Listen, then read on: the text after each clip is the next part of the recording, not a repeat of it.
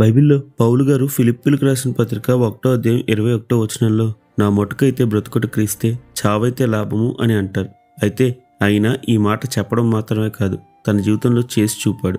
ఆనాడు పౌలు గారు వల్లనే ఒక వ్యక్తి అదే తీర్మానంతో న్యూగినియాలో నరమాంస భక్షకుల మధ్య భయంకర పరిస్థితుల్లో సువాత చేసి అనేక తెగ ప్రజలను ప్రభు వైపు నడిపి చివరికి ఒకనొక నరమాంస భక్షకుల తెగల చేతిలో చంపబడి తినివేయబడ్డాడు. ఆ గొప్ప విశ్వాసవీరుడే జేమ్స్ చాల్మోస్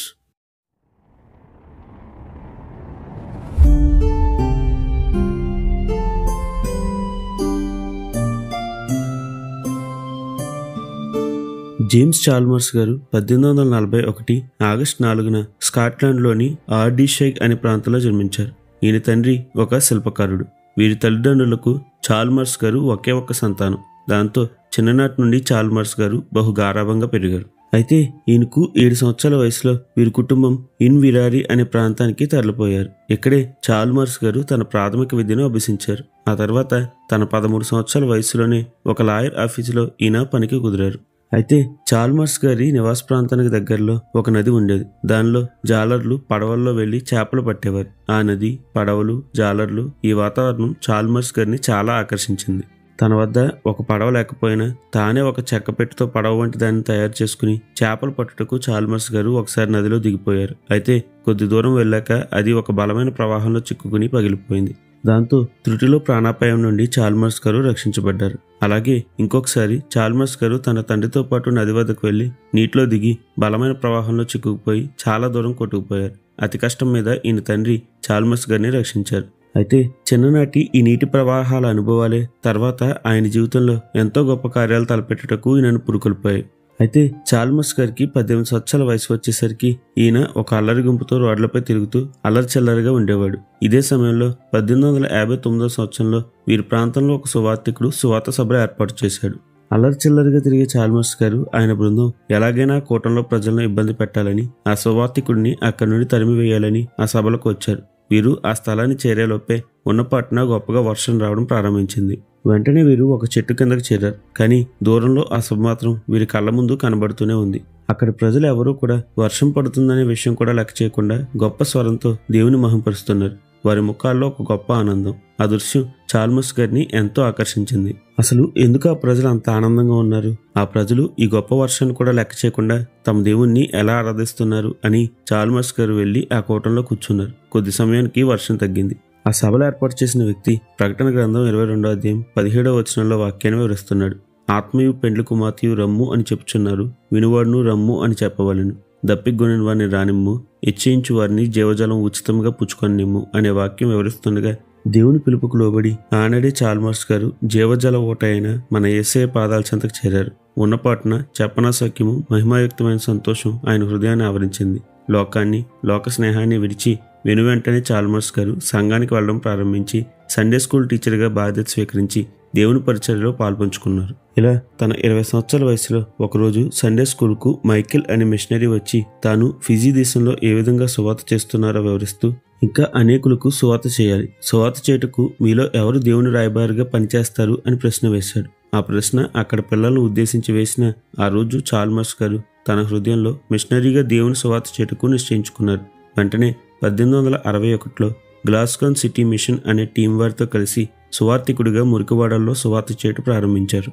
ఈ సమయంలోనే జార్జ్ టూవీర్ అనే వ్యక్తి చాల్మర్స్ గారికి పరిచయం అయ్యి మిషనరీగా ఉండుటకు చాల్మర్స్ గారిలో ఉన్న ఆసక్తిని చూసి మిషన్ సొసైటీకి లెటర్ రాయించారు. అప్పుడు లండన్ మిషన్ సొసైటీ వారు తనకి రిప్లై ఇచ్చారు. వీరు చాల్మర్స్ గారిని ఎనిమిది నెలల పాటు పలు విభాగాల్లో ట్రైనింగ్ ఇచ్చారు. అక్కడే కొద్దిగా వైద్యం చేయడం కూడా చాల్మర్స్ గారు నేర్చుకున్నారు. ఆ తర్వాత అక్టోబర్ పదిహేడు పద్దెనిమిది వందల అరవై ఐదులో చాల్మర్స్ గారు జేన్ హెర్కస్ గారిని వివాహం చేసుకున్నారు.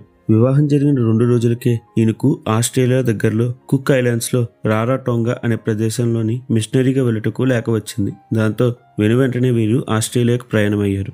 జనవరి నాలుగు పద్దెనిమిది వందల అరవై ఆరుకి వీరు ఆస్ట్రేలియా చేరుకున్నారు. అక్కడే మూడు నెలలు గడిపిన తర్వాత వీరు న్యూ హైబ్రిడిస్ దీవులకు వెళ్ళాలని ప్రయాణం మొదలుపెట్టారు. కానీ పడవలో ఏదో సమస్య రావడంతో అది తిరిగి సిడ్నీ వచ్చింది.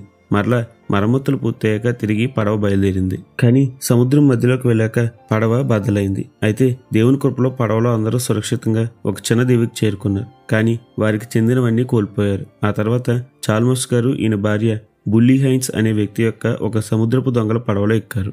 ఆ కెప్టెన్ మొదట్లో కాస్త కఠినంగా వ్యవహరించిన చాల్మస్ గారిలో స్వాత చేయాలనే తపన చూసి నెమ్మదిగా చాల్మస్ గారు దేవుని గురించి తనతో చెప్తుంటే వెనసాగారు. ఒకరోజు చాల్మస్ గారు పడవలో మిగిలిన సభ్యులకు కూడా తాను దేవుని గురించి చెప్పుటకు అనుమతి కోరగా ఆ కెప్టెన్ పడవలో అందరూ తప్పక చాల్మస్ గారు సువాత చెప్తుంటే వచ్చి వినాలని ఆజ్ఞ జారీ చేశాడు.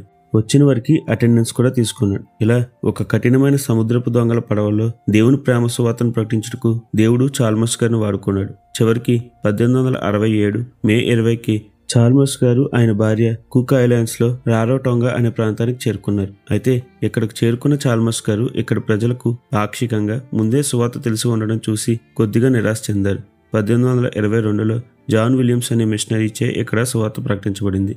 చాలా మటుకు ప్రజలు రక్షణ పొందారు. అందరికీ సువార్త తెలుసు. కానీ చార్మస్ గారు సువార్త తెలియని వారికి క్రీస్తు ప్రేమను ప్రకటించాలని ఆశపడ్డారు. అయితే ఇక్కడ ప్రజలు పాక్షికంగానే క్రీస్తును తెలుసుకున్నారు. ఇంకా ప్రజలు చీకటి శక్తులను పూజిస్తూ నమ్ముతూ చేతబడి మంత్రశక్తులను ఆశ్రయించడం చూసి ఇక్కడ చేయవలసిన పని ఎంతో ఉందని చాల్మస్ గారు గ్రహించారు.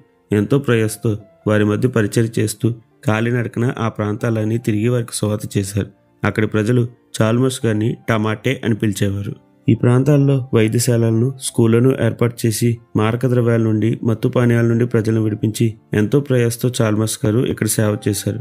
ఇక్కడ చాల్మస్ గారు న్యూస్ పేపర్ కూడా ప్రచురించారు. ఇలా పది సంవత్సరాలు వీరి మధ్య సేవ చేశాక చాల్మస్ గారి కోరిక అయిన క్రీస్తు నెరగని సువాతచారని నరమాంస భక్షకులైన న్యూ గినియా ప్రాంతంలో వెళ్ళుటకు చాల్మస్ గారికి అవకాశం లభించింది. దాంతో పద్దెనిమిది వందల డెబ్బై ఏడులో చాల్మర్స్ గారు ఆయన భార్య జైన్ గారితో న్యూగినియాకు ప్రయాణమయ్యారు. వెళ్ళగానే వీరు న్యూగినియాలో సావ్ అనే ప్రాంతానికి చేరుకున్నారు. అక్కడి వాతావరణం వారికి నిజంగా ఒక పీడకల్లా వచ్చింది. ఆ ప్రజలు మనుషుల ఎముకలను ఆభరణాలుగా ధరించారు.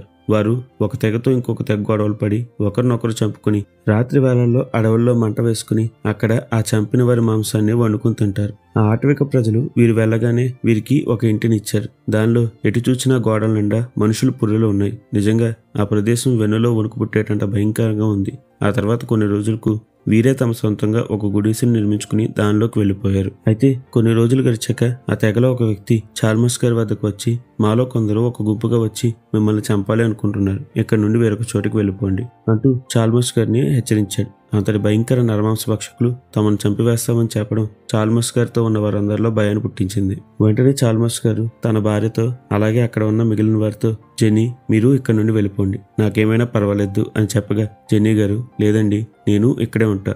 అయితే క్రీస్తు కొరకు కలిసి జీవిద్దాం. లేదంటే కలిసి మరణిద్దాం అన్నారు. అదే మాట తన తోటివారు అన్నారు. వీరికి తెలియజేయబడినట్టే ఒక గుంపు వీరి ఇంటిని చుట్టుముట్టింది. వారిలో ఒకడు ఆ గుంపు నాయకుడు ముందుకు వచ్చి ఓయి తెల్లోడా నీ దగ్గర ఉన్న ఇనుప పనిముట్లు నాకు ఇవ్వు. లేదంటే ఇప్పుడే నిన్ను నీ వారిని చంపేస్తా అని బెదిరించాడు. దానికి చాల్మస్ గారు అయ్యా నాకు ప్రేమతో చేరికయ్యే వారికి నేను బహుమతులు ఇస్తాను నన్ను బెదిరిస్తే నా దగ్గర నుండి మీరేమీ పొందుకోలేరు అని చెప్పగా అతడు ఈ రాత్రిలోపు నిన్ను నీ ఇంట్లో అందరినీ చంపి నీ దగ్గర ఉన్న సామాన్ తీసుకుపోతా అని చెప్పి అక్కడి నుండి వెళ్ళిపోయాడు. ఆ రోజు రాత్రి వారు దేవుని సన్నిధిలో అలా ప్రార్థిస్తూనే ఉన్నారు.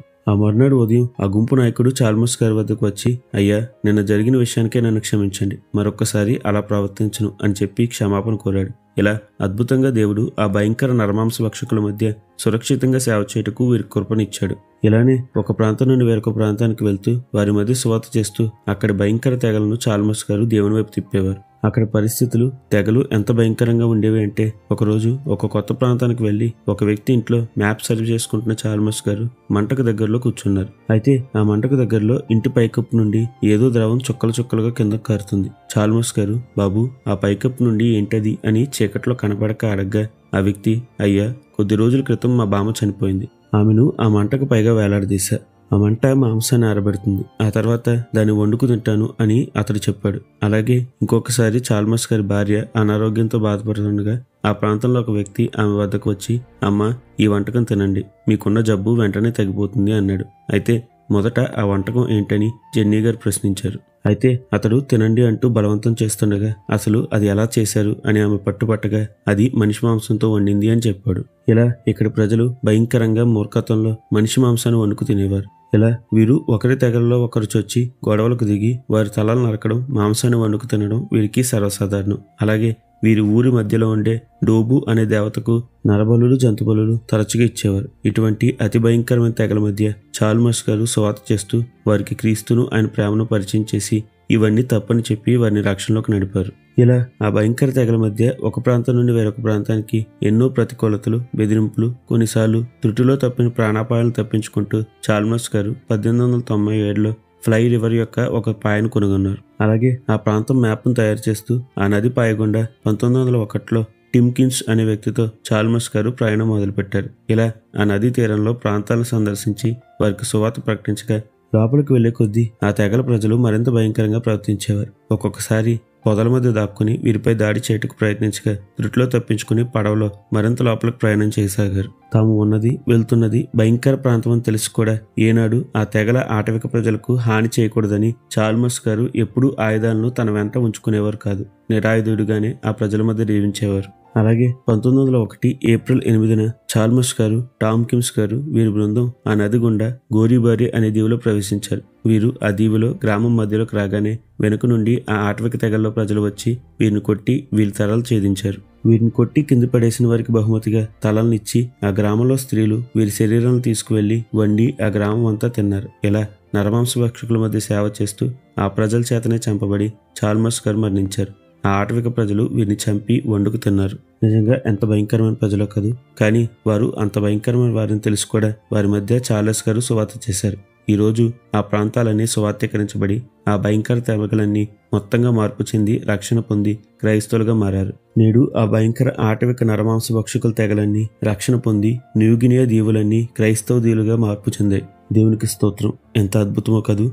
అవును ఒకప్పుడు వారు భయంకరమైన మూర్ఖ జనాంగమే. అవును ఒకప్పుడు వారు నర్మాంస భక్షకులే. అలాగని వారికి క్రీస్తు ప్రేమను ప్రకటించకపోతే వారు చెబితే వినరని ప్రమాదకరమైన వారని ఎవరు వెళ్ళకపోతే నేడు ఆ ప్రాంతాలు రక్షణ పొందేవా? అవును ఎవరు చెప్పడానికి వెళ్ళకపోతే వారికి క్రీస్తు ప్రేమ ఎలా తెలుస్తుంది? క్రీస్తు ప్రేమ తెలియకపోతే ఒక పాపి ఎలా రక్షణ పొందుతాడు? ఈ ఆలోచనే జేమ్స్ చాల్మర్స్ గారిని పురుకొల్పింది. తాను వెళ్తున్న ప్రాంతంలో ప్రజలు మూర్ఖులైన నర్మాంస భక్షకులని ఆయనకు తెలుసు. తాను సువాత చేస్తే వారిలో కొందరు వినరని తనకు తెలుసు. ఏదో ఒకరోజు వారు తనను చంపుకు తింటారని ఆయనకు తెలుసు. కానీ చెప్పేవారు లేకపోతే వారు ఎలా తెలుసుకుంటారని ఆయన క్రీస్తు రాయబారిగా ముందుకు కదిలాడు. బైబిల్లో ఇషియా యాభై ఐదు పది పదకొండు వచనాల్లో ప్రభువు ఇలా చెప్తున్నాడు. వర్షమును హిమమును ఆకాశం నుండి వచ్చి అక్కడికి ఎలాగ మరలక భూమిని తడిపి భుజించువానికి ఆహారమును కలుగుటకే అది చిగిర్చి వర్ధిల్లినట్లు చేయను. అలాగే నా నోటి నుండి వచ్చు వచనమును ఉండును. నిష్ఫలంగా నా యొద్దకు మరలక అది నాకు అనుకూలమైన దాన్ని నెరవేర్చును. నేను పంపిన కార్యమును సఫలం చేయను. అవును ప్రభు వాక్యం తప్పక కార్యం చేస్తుంది. అదే నమ్మకంతో చాల్మర్స్ గారు ముందుకు కదిలారు. నా మొటుకైతే బ్రతుకుట క్రీస్తే చావైతే లాభము అంటూ క్రీస్తు సైనికుడిగా క్రీస్తు కొరకు మరణించారు. కానీ జ్ఞాపకం పెట్టుకోండి క్రీస్తును విశ్వసించిన మనకు మరణం లేదు. నిత్య జీవమే. అందుకే ఈరోజు రోజు చాల్మర్స్ గారిని చూసి ఒక విషయం నేర్చుకోండి. వారు వినరు వారు నాకు కీడు చేస్తారు వారు మూర్ఖులైన జనము అంటూ ఎవరికీ శువత చెప్పడం ఆపకండి. బహుశా ఈ రోజు వారు మనకు హాని చేయవచ్చు ఒకవేళ మన ప్రాణాన్ని తీసివేయవచ్చు. కానీ ఒకరోజు ఈ వాక్యం తప్పక ఫలిస్తుంది. ఆ రోజు ఎలాగైతే న్యూగినియాలో మూర్ఖులైన నరమాంస భక్షకులే క్రీస్తు కొరకు రక్షించబడ్డారో అదేవిధంగా మూర్ఖులైన ఏ జనాంగమైన క్రీస్తు ప్రేమకు తప్పక మార్పు చెందుతుంది. అందుకే మన ధ్యేయం ఒక్కటే మనల్ని ద్వేషించిన దూషించిన దండించిన మరణానికి అప్పగించిన వారికి మనం చెప్పాల్సింది ఒకటే క్రీస్తు ప్రేమ మమ్మను బలవంతం చేయుచున్నది. అవును అలా చెప్పి క్రీస్తు రాజసువార్తలో పాత్రలుగా ఉండే గొప్ప ధన్యత దేవుడు మనందరికీ దయచేయనుగాక నిత్యం యేసుక్రీస్తు నామానికే మహిమ కలుగునుగాక. Amen hallelujah